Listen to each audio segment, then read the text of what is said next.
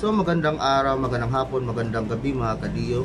Ah, meron tayong tatlong ah, topic ngayon mga kadiyo pero dalawa lang po ang mapapakita ko sa inyo mga video mga kadiyo. Ang una po is sabi ni Attorney Sal Panelo hindi maganda at mali ang galawan ni SILG, Abalos at sa DOJ. Pangalawa po is yung kampon ng Digamo is nagsalita na tungkol sa 8 million na binigay umano sa kabilang kampo. At ang pangatlo, Congressman Tebes nag-apply ng citizenship sa Cambodia. So, ang una natin ipapakita ng mga kadiyo is yung sabi ni Attorney Salpanelo na mali ang galawan ng DOJ. So, ito na po yung video. Hayang ka na naman. Hindi ka na natuto. Hindi ko talaga maintindihan itong mga taong ito. o, ulitin na naman. Yung pinag-usapan natin nung isang araw. Sabi kasi ng DOJ, ipapile namin ito. Kasi nagre-retract, di ba? Kung nag-retract, di wala ka ng ano, wala ka ng ebidensya kasi ito yung mga nag-confess eh. Outside of that, kaya sila ang hirap mag-file kasi nga hindi nila malaman kung magre-retract o hindi.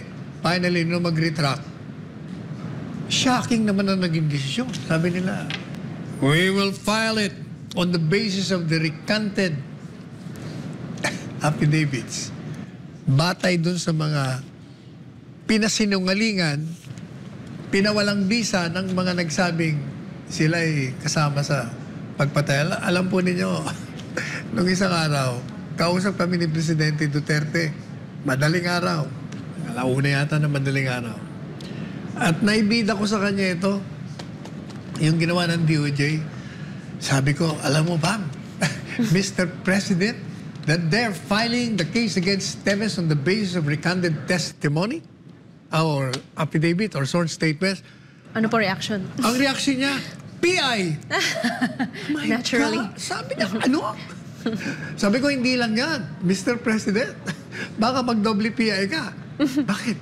Aba, eh, biro mo, ipapile na nga ng, on the basis of recanted sworn statements. Eh, magpapile din daw sila ng perjury. Ha? Sabi niya, ay doble nga PI dapat. Napadoble. Kasi, ang dapat dyan, mag-file muna sila ng perjury para malaman kung totoo o hindi. At pag kumakonvict, ano ba yung mga yan? Meron pa siya sinabi pero hindi ko na ibabahagi sa inyo. Eh kayo naman kasi, hindi ko naman maintindihan. Bakit naman kayo ganyan dyan sa DOJ? Teka muna. Prosecutor Padulyon, ikaw ang pinakamatinik dyan eh. Bakit di mo yata tinuturuan yung mga, ewan ko ba? Eh, eh, at least ito si Prosecutor Padulyon, nakasama ko ito nakalaban ko na sa kaso. Ah, May, may marunong ito. Pero nagtataka ko, bakit pumapayag ka na ganito yung mga estilo ni dyan sa DOJ? Turuan mo, Prosecutor Padulyon, whether amo mo yan o hindi. Tungkulin mo yan. Huwag niyong ipahiya itong administrasyon, ha? Yes. katakot-takot ng pagtatanggol natin. Tapos kayo naman eh, sinisiraan nyo sa inyong mga maling galaw. Either you file that with other independent, independent evidence or wag nyo munang i-file. Kasi pag pinail nyo yan, tapos ang basis nyo recanted, pa- paano ba? How can you even prosecute that? Sasabihin nyo, oh, ito ang basis namin, confess. Tapos, tatawagin niyo yung testigo, hindi po totoo yan. Wala po ka. Patay na kayong bata. Y- yan ang problema.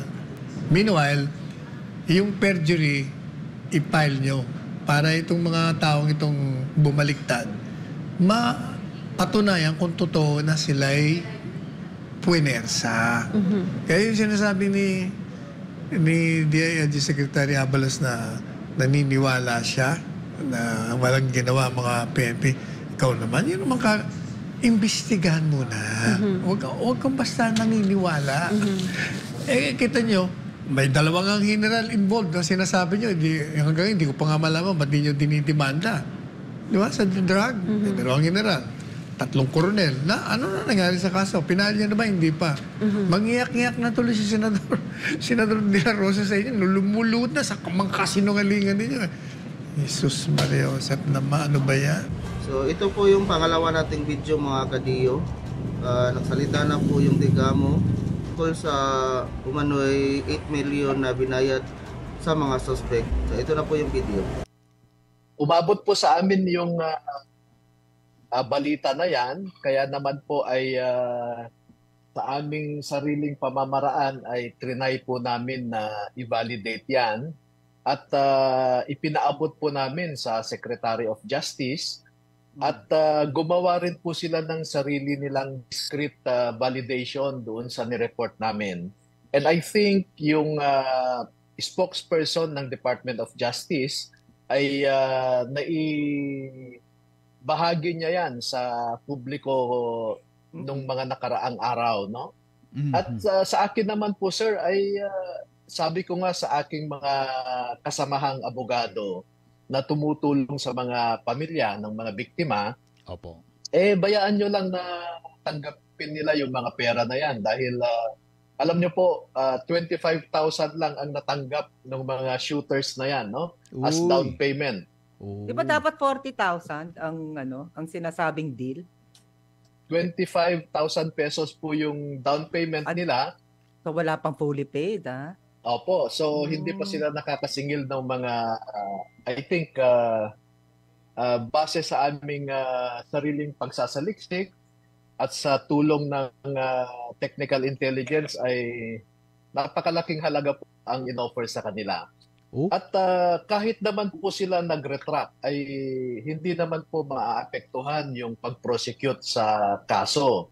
Ah, dahil nung una pa lamang ay ah, nagsabi na rin ako ng aking ah, damdamin o saloobin ah, laban sa pagtanggap ng isa or dalawa sa kanila bilang ah, state's ah, witnesses Mhm. dahil makikita nyo po lahat sila ay namaril. No? Mhm. Kahit po yung naiwan sa labas ng compound, yung nasa highway, sila po yung ah, nakabaril doon sa mga bodyguards ni Governor Tegamo na at that time nandoon sa temporary shelter nila na container van sa bandang itaas po. So lahat po Mm. ito ay may mga binaril, may napatay po sila and you can see how ruthless uh, they were in the execution of the assassination. So at tapos hindi naman po natin sila kailangan para successfully ma-prosecute natin itong cases. Mhm. Samantala, Congressman Tebes nag-apply ng citizenship sa Cambodia. Kinumpirma ni Justice Secretary Jesus Crispin Remulla na nag apply ng citizenship sa Cambodia si Congressman Arnie Tebes bukod pa sa political asylum sa Timor-Leste. Sinabi ng kalihim na ito ay batay sa impormasyon na kaniyang natanggap pero bukod dyan ay wala silang karagdagang detalye ukol sa proseso o kung i-renounce ni Tebes ang kanyang Filipino citizenship. Samantala nitong nakaraang linggo ay kinumpirma rin ni Remulla na nasa Timor-Leste pa rin si Tebes at idinulog lang sa Korte Suprema doon ang kaniyang hirit na asylum. Mula niya sa Singapore ay sumakay ng pribadong eroplano si Tebes papunta sa Timor-Leste kasama ang labing tatlo katao. So ito lang po yung news update natin mga kadiyo and please comment down below mga kadiyo kung ano ang mga masasabi nyo sa video na ito And please pakisupport naman ang ating Facebook page para magpapatuloy pa tayo sa paggawa ng bagong video. Mali ba talaga ang galawan ng DOJ? Malakas pa ba talaga ang ebidensya na hawak ng DOJ at sa Digamo? Comment down below sa inyong reaction ko dito.